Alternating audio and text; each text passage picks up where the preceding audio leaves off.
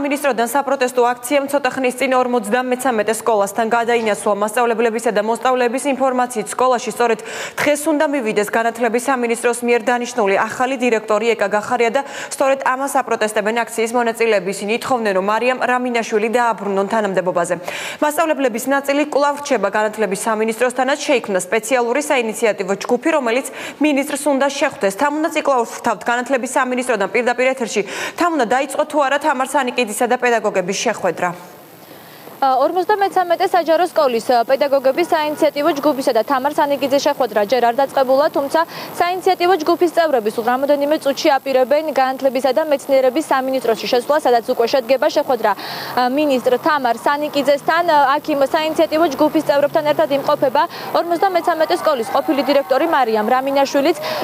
შეხვედრას დაეწრება ისიც რამინაშვილი რამინაშვილმა განათლებისა და მეცნიერების სამინისტროში რამდენიმე წუთის წინ განცხადება შეიტანა ამ განცხადების საფუძველზე იგი ითხოვს, რომ განათლებისა და მეცნიერების სამინისტრომ გამოიკლიოს და გაანულოს ის ფინანსური დარღვევა, რომელიც შიდა აუდიტის სამსახურმა 53 სკოლაში შესვლისას აღმოაჩინა, რაც შეეხებათ პედაგოგებისა და მოსწავლეების ნაწილს, მათ 53 სკოლასთან უკვე გადაინაცვლეს და ისინი საპროტესტო აქციებს უკვე სკოლასთან მართავენ.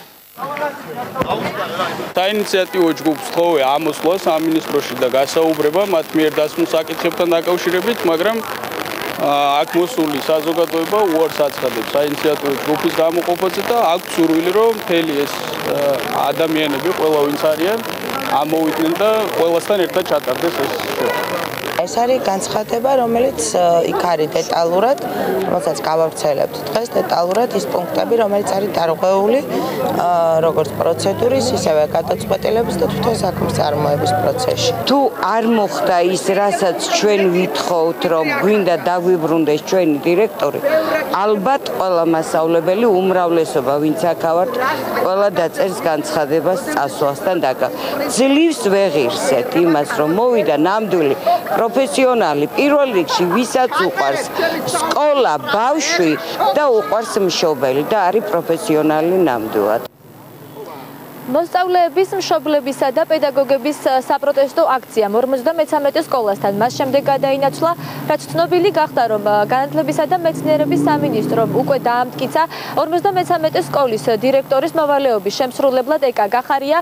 მოსწავლეები და პედაგოგები ამბობენ, რომ ისინი ეკა გახარიას სკოლაში არ შეუშვებენ და სასწავლო პროცესი მანამდე არ აღდგება, სანამ სკოლის დირექტორად კვლავ მარიამ რამინაშვილი არ დაბრუნდება.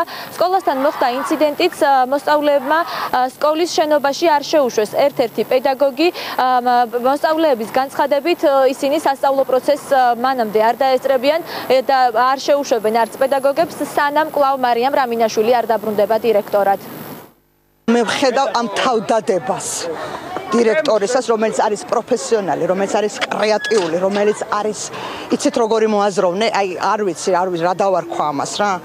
და ძალიან გული მწყდება, რომ დღეს ამ ქვეყანაში ხდება ასეთი ჩაგვრა, მოდით რა ასე ვიტყვი, ჩაგვრა ადამიანებისა, რომლებიც არიან თავისი საქმის უდიდესი პროფესიონალები. გამოკვეთილად არ დაჭერა გადაყენების, არ გადაყენების.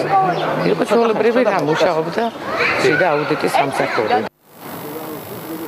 როგორც უკვე გითხარით 53 საჯარო სკოლის საინიციატივო ჯგუფის წევრები ამ წუთებში ელოდებიან შეხვედრას. მინისტრთან სწორედ თუ რა შედეგი დასრულდება ეს შეხვედრა და რა გადაწყვეტილებას მიიღებენ. საბოლოო ჯამში განათლების სამინისტროში და საინიციატივო საინიციატივო ჯგუფის წევრები სულ რამდენიმე საათში გახდება ცნობილი. თუმცა შეხვედრა ჯერ არ დაწყებულა ის რამდენი